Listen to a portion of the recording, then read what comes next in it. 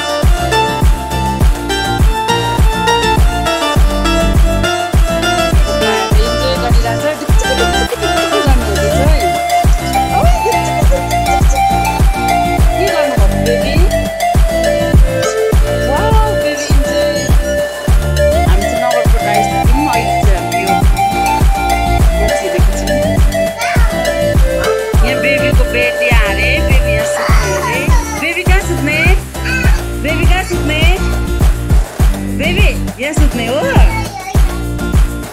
सुत्ती गर्नु? अनि यो काम